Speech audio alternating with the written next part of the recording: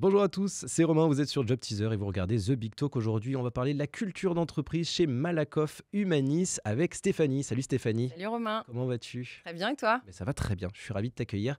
Alors toi, tu es responsable QVCT et santé au travail chez Malakoff Humanis. QVCT en, en deux mots? Qualité de vie et conditions de travail. Parfait, bravo. On va parler donc de la culture entreprise de Malakoff Humanis. Est-ce que tu peux me pitcher Malakoff Humanis? Alors, Malakoff Humanis, c'est un groupe de protection sociale à but non lucratif. On accompagne des clients qui sont à la fois entreprises ou particuliers. On a quatre métiers l'épargne, la retraite, la santé, la prévoyance. On est un groupe aujourd'hui de plus de 10 000 euh, collaborateurs sur l'ensemble du territoire français. On a à peu près 100 115 implantations et on a 200 métiers.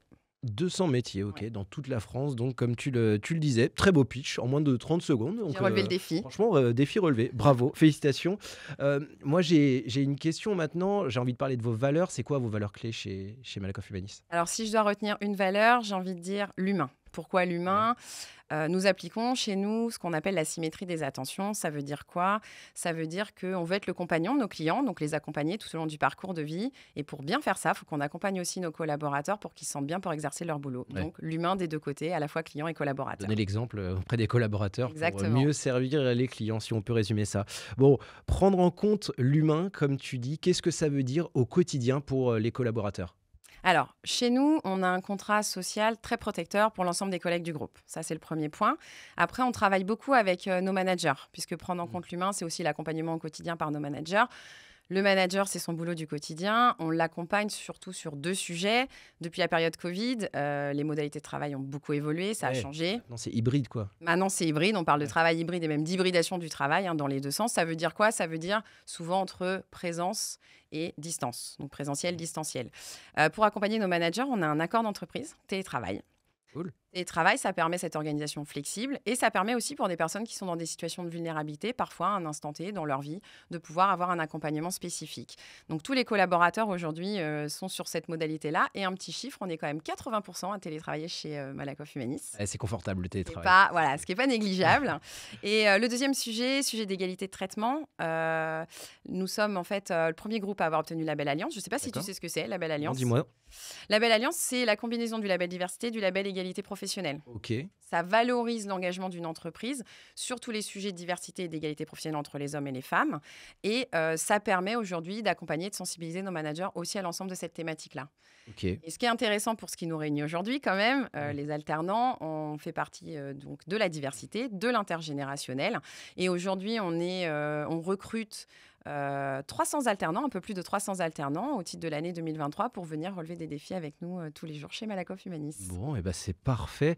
Euh, moi, ce que j'ai envie de parler maintenant, parce qu'on parle des collaborateurs, et il y a quelque chose qui est important en tant que collaborateur, c'est la cohésion de groupe. Il y a un terme qui revient beaucoup chez vous, c'est le smile working. Alors, qu'est-ce que c'est le smile working? Alors, le Smile Working, c'est un projet. C'est le nom d'un projet chez nous, en fait, qui est une déclinaison du nom de notre projet d'entreprise qui s'appelle Smile 26. Du logo aussi Évidemment, c'est euh, référence au logo, puisque le logo du groupe, c'est un double sourire. Ouais. Donc le smile. Euh, essayer de donner le smile au client, essayer d'avoir le smile au niveau des collaborateurs. Euh, en fait, on développe le smile working toujours sur le sujet d'hybridation du travail, c'est-à-dire c'est un projet qui permet de réfléchir aux nouvelles organisations du travail et aussi aux nouvelles pratiques collectives. Hmm. Donc c'est un projet qu'on a lancé avec les managers et maintenant qu'on développe avec les collaborateurs sur ces deux thématiques que je te viens de, de te citer. Et le smile, est-ce que euh, ça fait référence à quelque chose pour toi? Bah, le sourire. Ouais, le sourire. Mais j'ai un défi aujourd'hui. Donc smile chez nous, en fait, c'est euh, un acrostiche. Je sais D'accord. pas si tu connaissais ce nom. Si, si, ça, ça remonte, euh, je pense, au CP, peut-être au CE1, mais j'ai déjà entendu ce nom. ouais. Voilà, c'est euh, effectivement quand dans un mot, chaque lettre en fait euh, donne la ça. signification de quelque chose. Chez nous, ça a une valeur particulière puisqu'en fait, c'est quelque chose qu'on essaye de porter, nous, collaborateurs, auprès de nos clients. Donc, si tu me permets, je vais te faire l'acrostiche de Smile. Allez. Donc, ça veut dire souriant, motivant, investi, limpide et empathique. Ok, super. Et comment c'est organisé? Je crois qu'il y a cinq piliers, c'est ça, le smile working? Donc, il est organisé sous euh, cinq piliers. Euh, premier pilier, c'est garantir le collectif, qui est très important puisqu'on a dit qu'on doit euh, On parlait d'hybridation du travail, c'est garantir le bon collectif, même s'il y a des personnes qui sont en physique et en, et en- en présentiel. trouver et des nouvelles manières de travailler ensemble sous ce format-là, donc garantir le collectif. En faisant ça, on renforce la confiance, qui est le deuxième pilier. On contribue au nouveau mode relationnel. Ok. Parce qu'il faut les intégrer aussi. Ouais. Et qu'est-ce qu'on fait quand on est en présentiel et qu'est-ce qu'on fait quand on est en distanciel? Euh, On contribue à la performance sociale, économique, euh, durable de l'entreprise. Et, ça, ça nous permet pour, euh, d'exceller pour l'expérience client, qui est toujours important et qui est la finalité forcément de l'entreprise. Bon, ça a l'air top. Euh, moi, j'ai- j'aimerais bien parler maintenant RSE. Est-ce que tu peux m'expliquer si vous avez des chantiers en cours sur la RSE Quels sont-ils et comment ça se développe?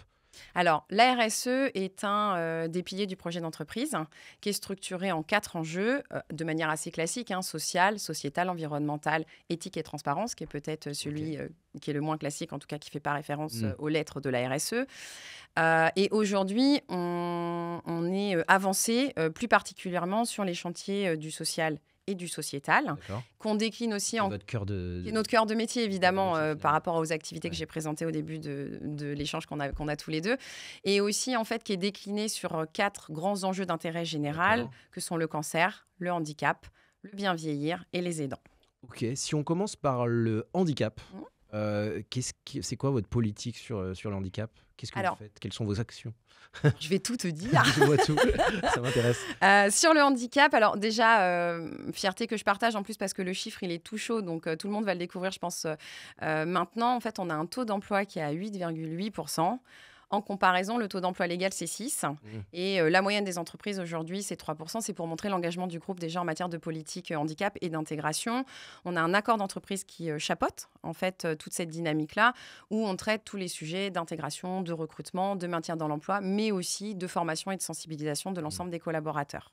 Oui, c'est pas que le handicap au niveau des clients, c'est le handicap des En collaborateurs. interne aussi, Ouais, tout en- à en- fait, en de nos collègues. Ok. Et après, pour l'extérieur, on a une fondation, euh, Malakoff Humaniste pour le handicap, qui a pour vocation de soutenir des projets sur la partie euh, culturelle, le sport, euh, la santé, l'emploi. Cool. Et on est partenaire aussi de la Fédération française du sport adapté. Trop bien. Et ce qui est trop bien, parce que ça, c'est le petit truc, le super truc, c'est qu'en fait, on soutient une team d'athlètes paralympiques qui est en train de préparer les JO paralympiques 2024. Les Jeux, les Jeux paralympiques Ouais. d'ailleurs de Paris Ouais, 2024. tout Je crois fait. même que dans ton équipe, tu as une, une athlète paralympique. Nantenin Keita, j'ai la chance de travailler avec elle au quotidien et qui est aussi en train de se préparer et qui a été euh, championne paralympique euh, en athlétisme. On la salue. On la salue. Tu m'as parlé aussi du cancer. Ah, Ça, c'est quelque chose d'important. Euh, Qu'est-ce que vous faites pour le cancer, en tout cas pour les personnes qui sont touchées euh, peut-être par, euh, par, par cette maladie Alors, c'est un engagement aussi de longue date sur la partie euh, de l'accompagnement des personnes qui sont touchées par un cancer, qui évolue aujourd'hui vers l'accompagnement des personnes qui sont touchées par une maladie euh, de manière plus globale. On a démarré nos réflexions en 2017. Et on a été euh, signataire de la charte euh, Cancer at Work, qui est une structure euh, qui travaille avec les entreprises pour mettre en place des dispositifs d'accompagnement pour les collaborateurs touchés par cette pathologie. On a renforcé notre engagement puisqu'on a candidat- candidaté euh, au label euh. Cancer at Work qu'on a obtenu. Et on a signé en 2022 euh, euh, le collectif Working with Cancer, qui a été euh, lancé et qui nous permet aujourd'hui de valoriser à la fois nos actions pour nos propres collègues, mais on propose Mmh. aussi des dispositifs d'accompagnement pour nos entreprises clientes qu'elles mettent à disposition de leurs propres collaborateurs. Alors, tu m'as parlé aussi d'un- sujet, et c'est vrai que c'est un sujet d'actualité. On entend beaucoup parler de ce terme, c'est les aidants. Déjà, rapidement, peut-être en, en deux mots, dire ce que c'est un aidant et comment vous accompagnez ces aidants? Alors, euh, pour dire ce que c'est qu'un aidant, je vais aussi donner deux chiffres. Ouais. Euh, le premier chiffre, c'est que aujourd'hui, en ce moment, un actif sur six est aidant. Un aidant, c'est quelqu'un qui accompagne une personne de son entourage qui est en perte d'autonomie, qui a une problématique de santé ou une problématique de handicap. Mm. Ce chiffre-là, en 2030, il passe à 1 sur 4. Ah oui, c'est vraiment un sujet d'actualité. Je pense que les entreprises elles doivent s'en saisir aujourd'hui pour accompagner correctement les collaborateurs concernés demain. C'est un sujet qu'on a pris euh, euh, en réflexion depuis quelques années euh, chez nous. Et peut-être en exemple, on a développé quelque chose qui n'est pas très développé encore, c'est le télétravail aidant. C'est-à-dire la mise en place de télétravail pour des collaborateurs qui vont être dans une situation compliquée sur un temps donné, qui vont avoir besoin euh, de temps, mais qui ont besoin de continuer à travailler. Parce que l'aidant a Mhm. besoin de continuer à travailler et de ne pas être que dans son rôle d'aidant au quotidien. Forcément. Et tu disais, le dernier, euh, le dernier facteur, c'était le bien vieillir. Oui. Euh, Un sujet important un aussi. sujet important aussi. Euh, pour Malakoff. Humanis, euh, et notamment sur la partie retraite. Alors sur le bien vieillir, pareil, j'ai envie de partager un chiffre. Un million de personnes de plus de 60 ans, donc jeunes quand même, sont en isolement social. Ok. Euh, on s'est saisi du sujet. Pour ça, on a mis en place un partenariat avec le service civique. Je pense que tu vois à peu près bien sûr. le service civique. Et on a créé un dispositif qui s'appelle Service civique Solidarité Senior. Ok. Donc c'est des jeunes qui peuvent aller faire des missions, effectivement, pour, pour aider au bien vieillir. Et rompre euh, dans la, mesure du possible, voilà l'isolement social de certaines personnes qui sont identifiées. Super. Alors on le disait tout à l'heure, c'est vraiment euh, presque le cœur euh, de, l'action, de la mission presque de Malakoff Humaniste que bah, de s'engager aussi en, ces faveurs-là. Est-ce qu'il y a quand même eu un élément déclencheur? Est-ce qu'il y a eu quelque chose dans l'histoire de Malakoff qui a fait que ça s'est accéléré peut-être? On parlait de, sujets d'actualité, de toute mm. façon, il faut s'adapter aussi. Complètement. Euh, est-ce qu'il y a eu un élément en particulier qui a fait que ça s'est accéléré? Non, il y a pas, enfin, on n'a pas eu une prise de conscience soudaine parce que, comme tu as pu le voir dans l'échange, euh, il y a des sujets sur lesquels on est engagé depuis longtemps maintenant. Par contre, euh, et notre mission aussi sociale dans nos activités autour de la santé, de l'épargne, de la prévoyance et de la retraite, on voit bien que c'est au cœur du sujet du groupe dans les missions qu'on a au quotidien auprès de nos clients. Pour autant, c'est un sujet sur lequel il faut toujours être attentif mmh. et il faut continuer en fait à proposer et à pousser des sujets. Donc, on était voilà très avancé sur la partie euh, sociale et sociétale. On peut dire qu'on avait même pris de l'avance sur ce sujet-là et on développe aujourd'hui euh, d'autres projets sur d'autres thématiques pour continuer en fait à être à la pointe euh, sur bien. la RSE. Je, si tu pouvais m'en dire un peu plus, c'est lesquels par exemple? Bah, Plus sur la partie environnementale. Donc, on avait déjà mis en place voilà des choses sur cette partie-là, mais on veut renforcer notre engagement sur la partie environnementale. On a commencé donc à poser euh, un projet ambitieux sur ce sujet-là, qui fait partie, comme je te l'ai dit, du projet d'entreprise. Euh, et sur ce sujet, on a pris deux, enfin, deux engagements stratégiques. Le premier, c'est de réduire notre empreinte environnementale dans nos fonctionnements internes. Ouais, donc au quotidien, dans les déplacements. Exactement, dans, les bâtiments. Je crois d'ailleurs même que vous allez euh, changer de, de, de, locaux, enfin de, bâtiments. Il est en pleine rénovation. Il est alors complètement, ça s'inscrit complètement euh, dans cette euh, partie-là. En fait, on a quitté notre siège l'année dernière, qui est en train d'être complètement refait pour prendre en compte toutes les, normes environnementales et aussi qui prend en compte l'hybridation du travail, c'est-à-dire pour créer des espaces de travail qui favorisent en fait le collectif. Ok. il y a vraiment ces deux sujets-là dans le nouveau projet euh, euh, sur nos locaux. Euh, donc tu as raison, c'est au quotidien et sur ce sujet-là au quotidien, on va développer en fait trois axes. D'accord. Le premier, c'est que ça nous concerne tous. On est tous responsables, on doit tous se mobiliser. Et comment on suscite en fait auprès des collaborateurs et on partage cette éco-responsabilité. Le deuxième, c'est comment on fait en fait pour réduire notre impact environnemental dans toute notre gestion euh, de nos ressources. Euh, par exemple, euh, comment on gère nos fournitures, comment on gère mmh. l'eau, comment on augmente et on optimise par exemple le tri de nos déchets, comment on fait qu'on réduit finalement nos émissions de gaz à effet de serre. Et le troisième point, c'est sur la partie biodiversité. Donc, comment on s'engage sur cette partie-là, à la fois dans nos espaces verts euh, sur les sites euh, en province, parce qu'on a des beaux sites avec de beaux espaces verts en province. Donc, comment on optimise cette partie-là et comment aussi on développe, c'est-à-dire de la biodiversité sur nos principaux sites. Comment on l'emmène là où il n'y en a pas forcément. Tu me parlais d'un autre, autre, autre chantier aussi, enfin en tout cas chantier. Deuxième enjeu. Non mais c'est bien, ça marche. C'était quoi? Alors le deuxième enjeu, c'est comment on fait pour réduire notre euh, impact carbone, empreinte carbone, si je suis puriste dans les termes, euh, par rapport à notre portefeuille d'investissement. Ah oui, oui forcément. Donc là, sur ça, pour info, en 2022, on avait 50% de nos encours qui ont obtenu le label ISR. Il faut aller plus loin. Donc, on a pris aussi un engagement chiffré sur cette partie-là. D'ailleurs, on a pris deux engagements chiffrés sur cette partie-là euh, de pouvoir réduire notre empreinte carbone sur l'ensemble de nos investissements d'ici à 2030 de 50%. Et sur la partie environnementale, de réduire de 55%, toujours sur la même période en 2030, euh, nos émissions de gaz à effet de serre. Ok. Est-ce qu'il y a des bénéfices que vous avez déjà pu constater par rapport à tout ce que vous avez mis en place? Tu me parlais plein de choses sur le social notamment et puis sur l'environnemental. Est-ce qu'il y a des bénéfices que vous avez pu constater déjà? Alors, je pense qu'on a aujourd'hui euh, une reconnaissance euh, de notre engagement sur euh, certaines thématiques qui sont plus ancrées et sur lesquelles on a plus communiqué.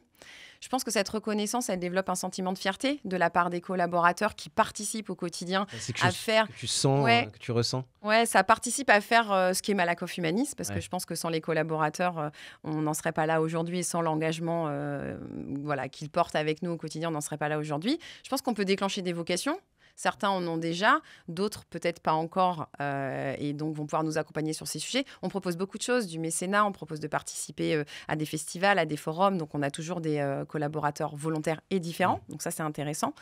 Et après, si moi je peux parler en mon nom, j'aimerais bien dire que, en tout cas pour ma part, c'est une fierté aussi. J'ai l'impression que à une petite échelle, on change le regard sur certains sujets au niveau de la société, et ça c'est plutôt assez positif. Bon, pour terminer cette émission, si je te laissais une minute là pour t'exprimer et pour euh, t'adresser aux étudiants qui nous regardent, qu'est-ce que tu aimerais leur dire?